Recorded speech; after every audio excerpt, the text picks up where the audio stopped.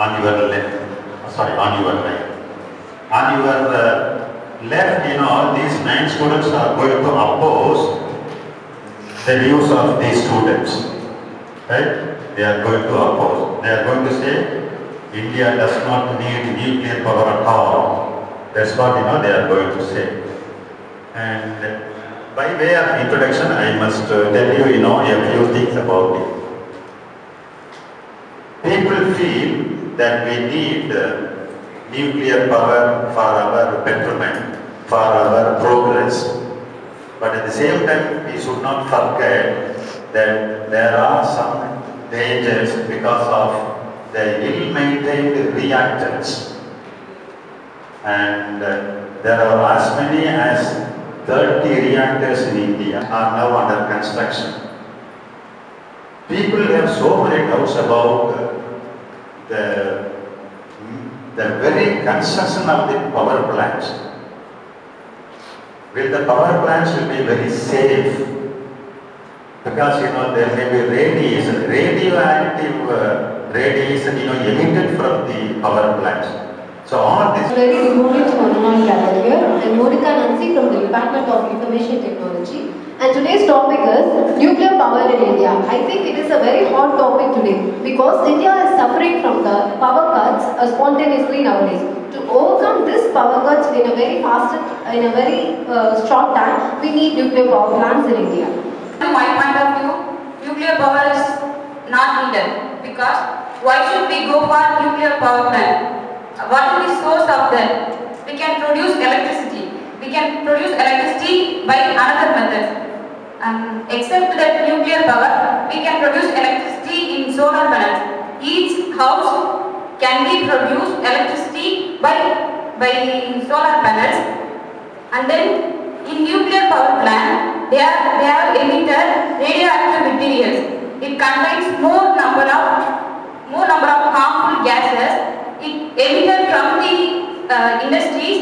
It, it directly goes to the villages or uh, anything surround that so they are affected by cancer or any other harmful diseases um, we could not recycle the waste particles in that nuclear nuclear power plant but we can but we can by some other source from the Department of Aero and my opponent team said that uh, the power cut is, an, is not a greater issue and you can uh, sustain power from some other sources.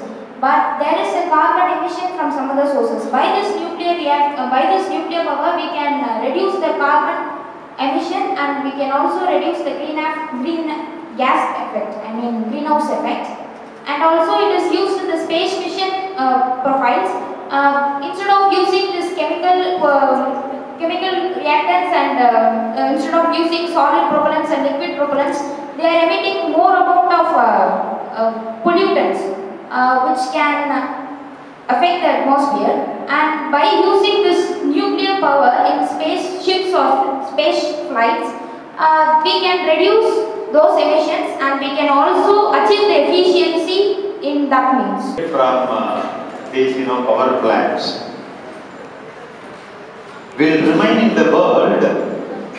Please note the radiation emitted from these plants will remain in the world for more than hundreds of thousands of years. And just imagine you know the gravity the seriousness. And people are afraid that the environment, you know, will be polluted. When our env- environment is polluted, what will happen to our human life? This one. And we can have these plants provided if adequate facilities for disposing of waste, if they are made available we must see to it that these waste must be, you know, deep and it should not in any way, you know, affect our human life, number one. Number two, the, the reactors, you know, should be surrounded by concrete walls and steel walls so that you can uh, prevent the escape of radiation.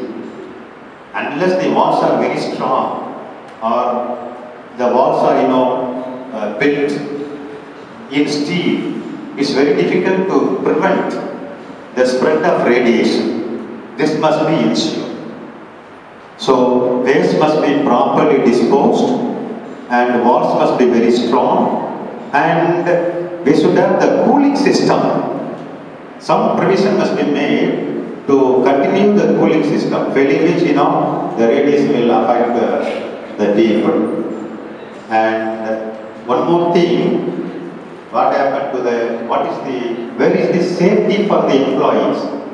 So the employees must be saved. While working, you know, inside the plants, they must be provided with proper gloves, overshoes, respirators, everything must be there. So protective measures, you know, must be ensured.